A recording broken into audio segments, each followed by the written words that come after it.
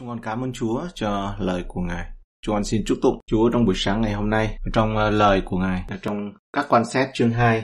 Chúng con cầu nguyện và xin lời của Chúa Ngài soi dẫn cho chúng con trong danh Jesus Christ. Amen.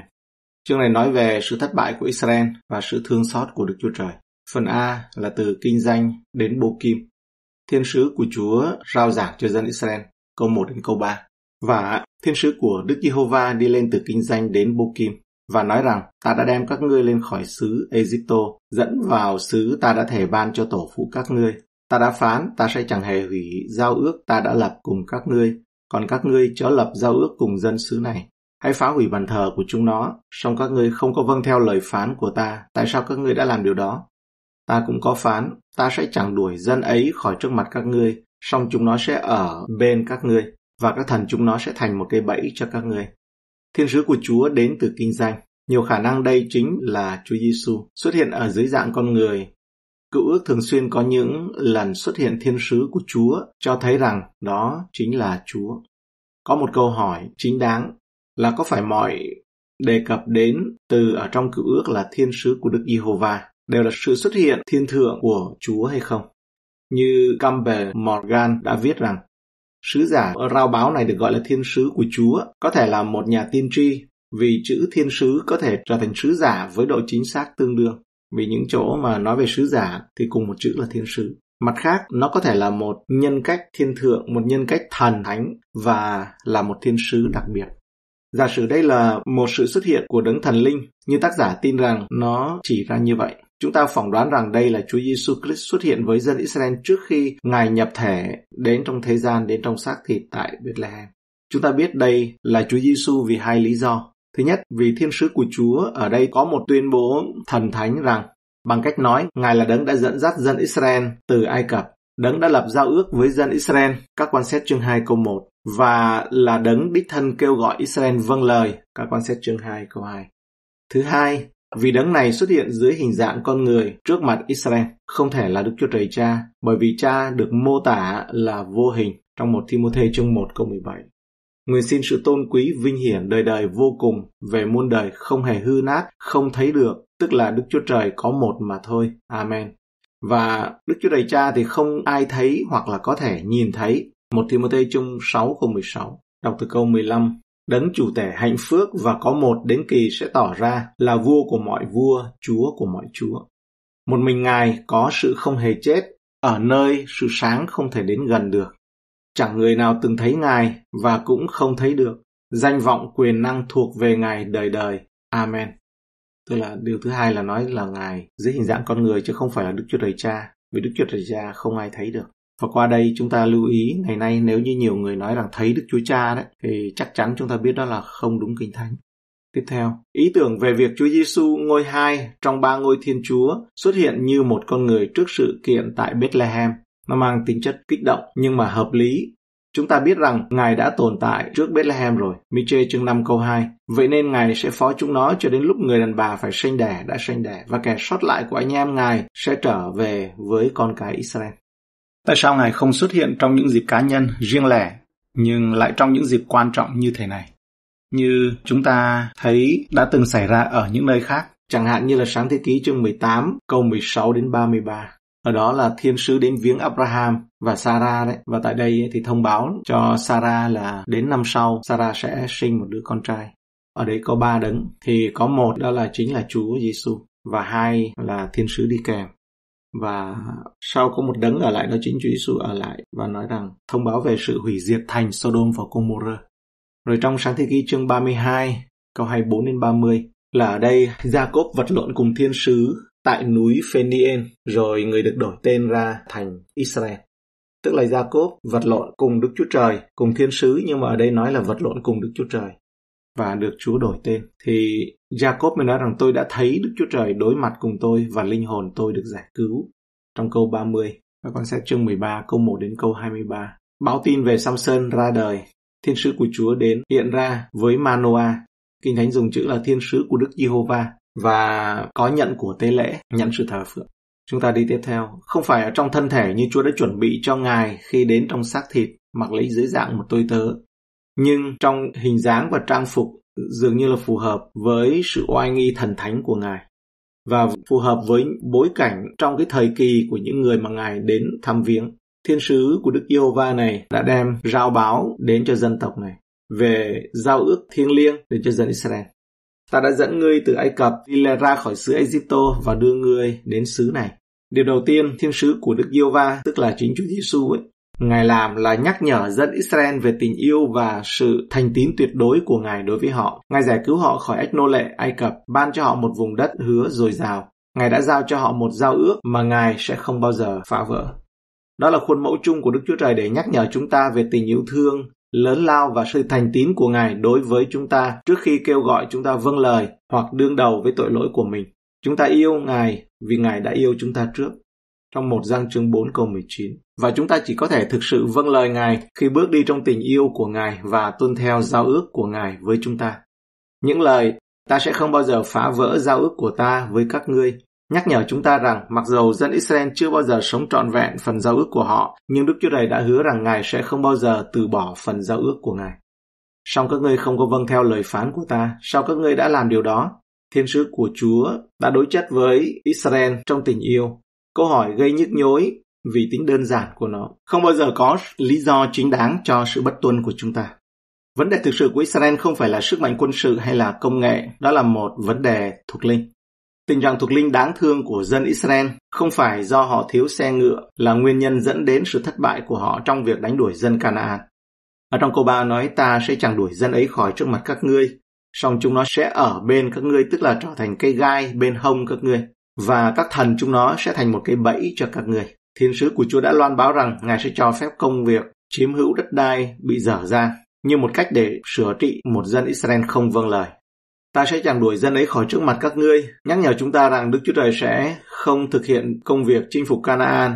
Trong những năm đầu tiên của chiến dịch chinh phục Canaan, Đức Chúa Trời đã chiến đấu cho Israel một cách siêu nhiên. Tuy nhiên, Ngài không bao giờ có ý định làm như vậy cho toàn bộ công cuộc chiếm xứ Canaan của người Israel.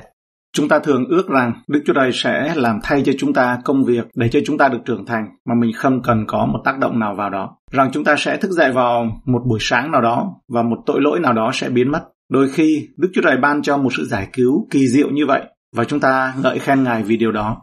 Nhưng phổ biến hơn là Ngài đòi hỏi sự cộng tác của chúng ta với Ngài trong tiến trình trưởng thành của đời sống cơ đốc. Sự hợp tác của chúng ta là quan trọng đối với Đức Chúa Trời bởi vì điều đó cho thấy rằng trái tim của chúng ta gần với trái tim của Ngài hơn, rằng chúng ta đang thực sự mật thiết đeo theo Ngài nhiều hơn mỗi ngày trong tiến trình trưởng thành của cơ đốc nhân Song chúng nó sẽ ở bên các ngươi tức là cái gai giữa các ngươi và các thần chúng nó sẽ thành một cái bẫy cho các ngươi Việc thông báo rằng người Canaan sẽ trở thành vấn đề đối với dân tộc Israel đã được hứa trước với dân Israel nếu như họ không có trung thành đánh đuổi người Canaan.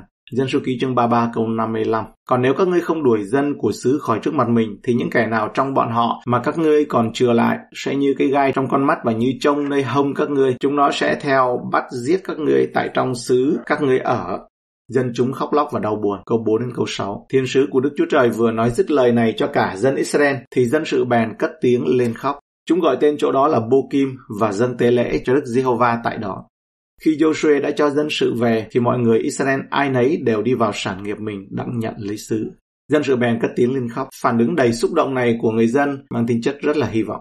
Với tất cả sự khóc lóc và đau thương và tan vỡ, có lý do để tin rằng lời của Đức Chúa Trời đã có tác động sâu sắc đến họ và họ đang trên đường đến với sự phục hưng thực sự và công việc của Đức Chúa Trời đang làm việc trong số họ. Đáng buồn thay, nó không phải là trường hợp như vậy, bởi vì những ghi chép sau đó ở trong sách các quan xét cho thấy phản ứng ban đầu của sự đau buồn và ăn năn này đã không phát triển thành một sự ăn năn thực sự và lâu dài. Sự ăn năn thực sự thể hiện qua hành động không nhất thiết phải là khóc. Chúng ta có thể lấy làm tiếc về hậu quả của tội lỗi mình gây ra mà không cần tiếc về chính tội lỗi đó. Nhiều khi khóc là vì nguối tiếc. Người ta có thể khóc lóc và bề ngoài tỏ ra ăn năn mà không bao giờ ăn năn bên trong. Đây là lý do tại sao Chúa thử thách dân Israel ở trong Joel chương 2 câu 13. Hãy xé lòng các ngươi, đừng có xé áo các ngươi. Khá trở lại cùng Jehovah Đức Chúa Trời của các ngươi, vì Ngài là nhân từ và hay thương xót, chậm giận và giàu ơn, đổi ý về sự tai vạ. Thật tốt khi thấy mọi người thực sự khóc vì tội lỗi của họ và không bao giờ được nản lòng. Tuy nhiên, nước mắt là giọt nước tự nhiên ướt át và cũng nhanh chóng bay hơi như là lúc nó chảy ra. Điều tốt hơn ấy là dòng chảy đau buồn nên chảy bên trong tâm hồn để cho nó tan nát ra, thứ để lại dấu ấn và không thể xóa nhòa ở bên trong. Một hạt đức tin tốt hơn một lít nước mắt, một giọt ăn năn chân thành ở trong lòng quý hơn một chậu nước mắt. Họ dâng tế lễ cho Đức Giê-hô-va tại đó. Trong điều này, họ đã làm điều đúng đắn. Bất kỳ nhận thức nào về tội lỗi sẽ hướng chúng ta đến của lễ hy sinh được Đức Chúa Trời chỉ định. Vào thời của họ, điều đó có nghĩa là lễ vật tội lỗi gồm có những bò đực và chiên đực. Trong thời đại của chúng ta, điều đó có nghĩa là sự ghi nhớ về sự hy sinh của Đức Chúa Trời dành cho chúng ta trên thập tự giá của Chúa Giêsu Christ. Họ đã làm điều này để làm chứng về đức tin của họ vào công việc của Đấng Christ vì họ không đau buồn một cách tuyệt vọng và lòng họ biết ơn rằng mặc dù vì cớ tội lỗi của họ nên trong giai đoạn đồng vắng này, Đức Chúa Trời đã gửi cho họ một người đến giảng thuyết, rao giảng lời Chúa, nhắc nhở và cảnh báo cho họ theo lời Kinh Thánh thay vì là một đao phủ, trích dẫn của Thread.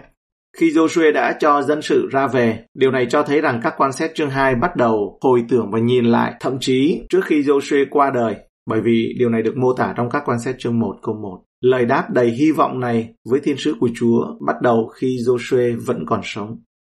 Thế hệ mới ở Israel, câu 7 đến câu 10. Dân sự phục sự Đức Giê-hô-va trong trọn đời Joshua và trọn đời các trưởng lão còn sống lâu hơn Joshua là những kẻ đã thấy các công việc lớn lao mà Đức Giê-hô-va đã làm ra vì Israel. Đoạn Joshua con trai của Nun, tôi tớ của Đức Giê-hô-va qua đời, tuổi được 110. Người ta chôn người trong địa phận về sản nghiệp người, tại Thimnat Here trên núi Ephraim, về phía bắc núi Gaách. Hết thành người đời ấy cũng được tiếp về tổ phụ mình. Rồi một đời khác nổi lên, chẳng biết Đức Giê-hô-va, cũng chẳng biết các điều Ngài đã làm nhân vì Israel. Vì vậy, dân chúng đã phục vụ Chúa suốt đời Joshua. Di sản của Joshua được nhìn thấy ở sự tin kính của Israel trong thời ông lãnh đạo. Ông thực sự là một trong những người đàn ông vĩ đại của lịch sử của dân Đức Chúa Trời. Tôi tớ của Đức Giê-hô-va. Đây là một tước hiệu có ý nghĩa sâu sắc đối với Joshua. Nó chỉ được áp dụng cho những người vĩ đại của Đức Chúa Trời như Môi-se. Phục truyền chương 34 câu 5. Nói rằng Môi-se tôi tớ của Đức Giê-hô-va qua đời tại đó, trong đồng vắng Moab theo như lệnh của Đức Giê-hô-va. Và David chương 18 ở đây trong cái câu tựa đề của Thi Thiên thôi. Thơ của David tôi tớ của Đức Giê-hô-va làm ở đây nói về cái danh hiệu là tôi tớ của Đức Giê-hô-va. Tức là đây là một tước hiệu và cũng là nói cho nhà tiên tri nào can đảm.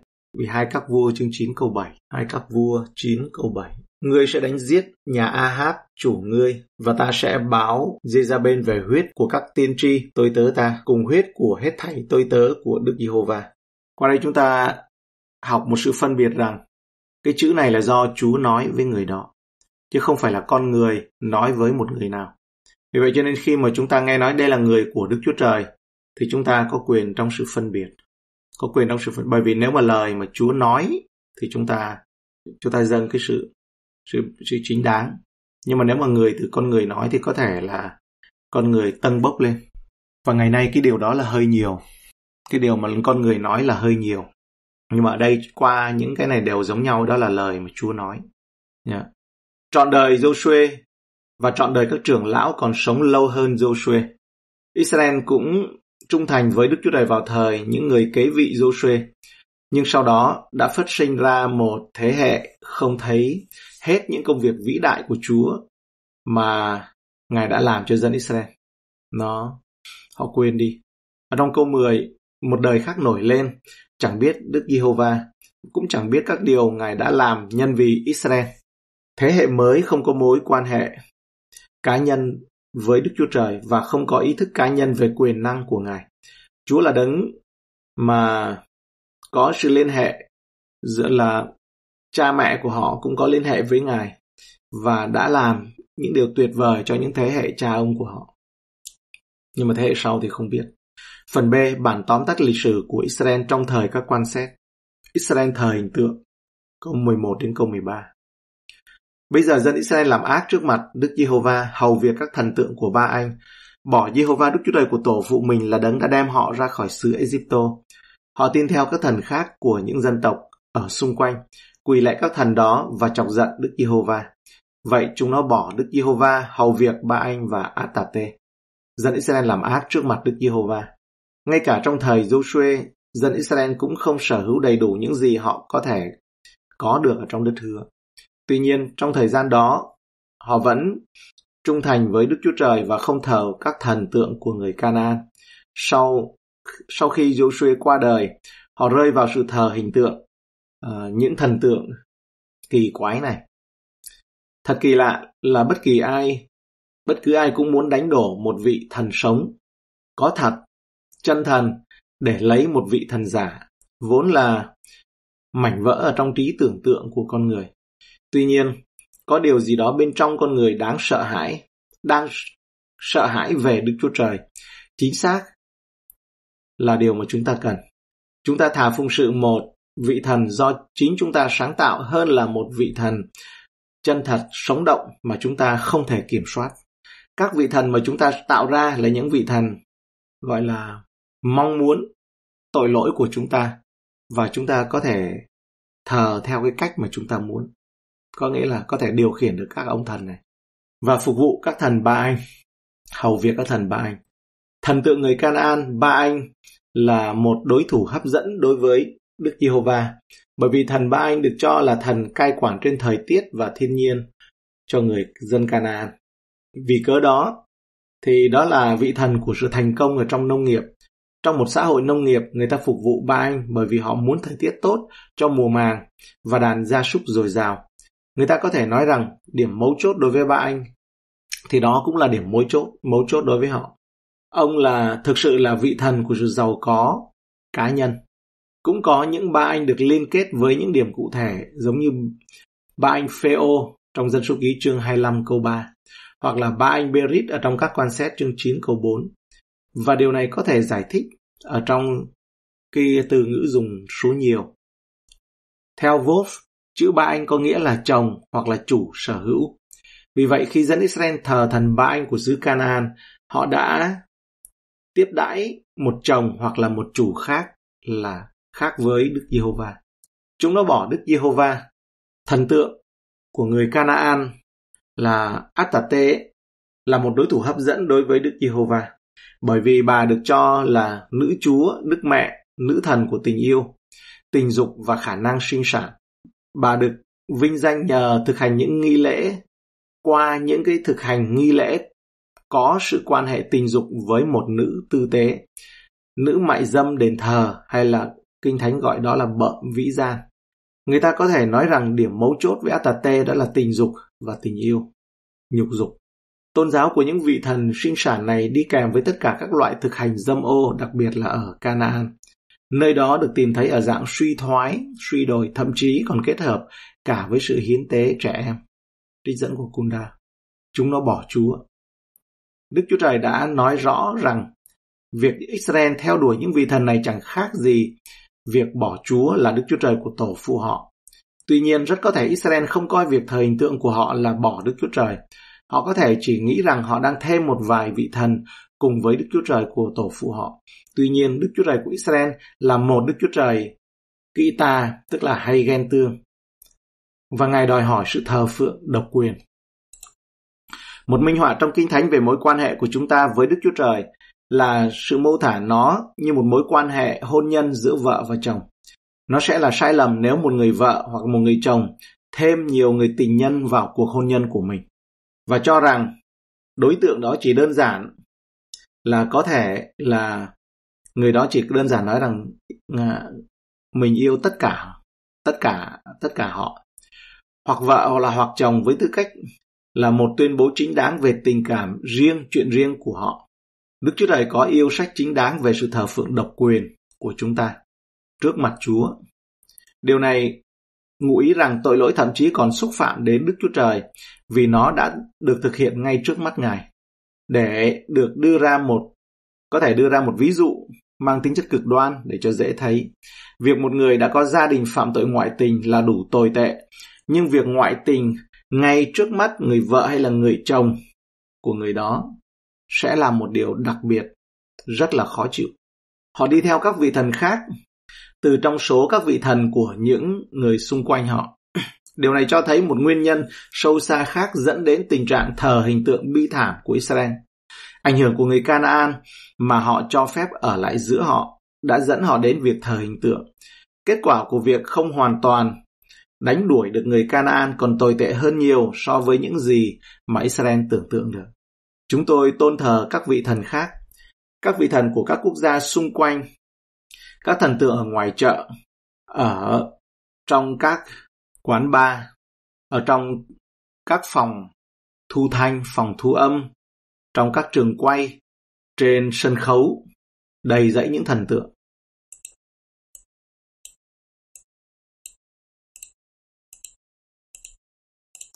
Yeah, dạ, cảm ơn Chúa cho chúng ta học đến đây thôi. Tuần tới chúng ta sẽ học tiếp câu 14 và chúng ta cầu nguyện. Chúng con dâng lời cảm tạ ơn Ngài cho trong buổi sáng ngày hôm nay và cho trong lời của Chúa ở đây là dân Israel. Họ đã nhận được, ở đây chúng con học được rằng đó là họ đi trong sự hiện diện của Chúa, bước vào trong đất hứa là xứ đượm sữa và mật, nhưng mà cuộc sống của họ thì không có được giống như đượm sữa và mật. Họ bắt đầu để con mắt vào sự thờ thần tượng. Họ có sự kêu la khóc lóc, nhưng mà đó chỉ là cảm xúc, bởi vì không có bông trái thật sự. Chúng con cũng học được đó là sự, nó không thể thành tiền lệ trong những sự cảm động hay cảm xúc của chúng con Chúng con dâng lời cảm ơn Chúa vì những ngày từ ngày đầu mà Ngài gọi chúng con. Chúng con dâng lời cảm ơn Ngài cho những giọt nước mắt ăn năn, đau đớn, khiêm nhường và chân thành.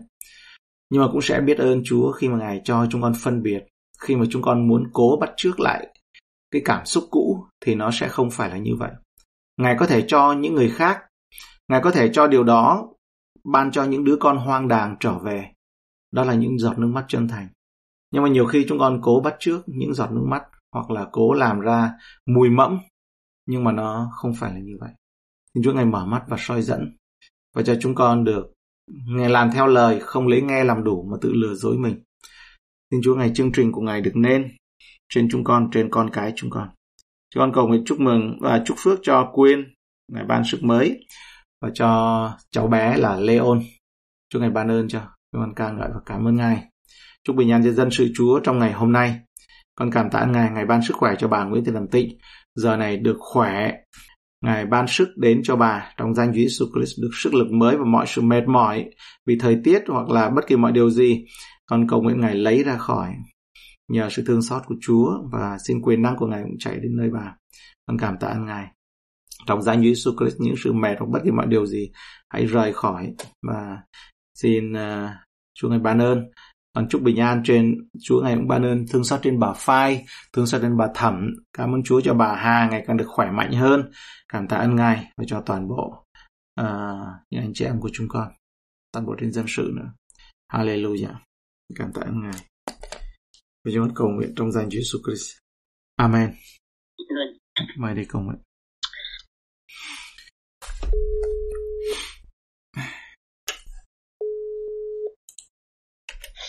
Dạ, nghe một sứ. Ừ, Đạt à, có vào chỗ quên lại chưa? Chỗ em bé lại dạ, chưa? chưa, một sứ ạ, còn đang chơi gạo được cái con vô. Ôi, con bảo. À, thế à? Lại lại. À. Dạ. Thế tranh thủ ngủ đi hay có ngủ được không? Dạ, ừ. tội giờ chuyện ngủ tị mồ. Chưa ngủ. Lại đi ừ. làm. Tí nữa đi làm hả? Nấu chảo xong rồi con vô, rồi con bảo quên gọi lại một sứ nhé. Ừ, thế thì hỏi, à, không chỉ cần... Uh, bây giờ cũng quên cũng cần hạn chế điện thoại với sóng đấy nhé nói là có giờ dạ, thôi nhé dạ, uh, thì thì uh, nặng bao nhiêu cơ nặng nặng ba phẩy năm nhưng mà dài như là quên hôm nào nói 52 thì là ừ, nhưng mà chắc là không, không đến không sửa không đến ừ, thì thì nói nói lại thì để để viết lời chúc mừng ờ, rồi lên cho yeah. Dạ. cho trên ờ, để cho ấy ừ thế nhá ok yeah, dạ, thôi thôi đặt nghỉ ngơi đi ừ chào chào, yeah, chào, chào. Ừ.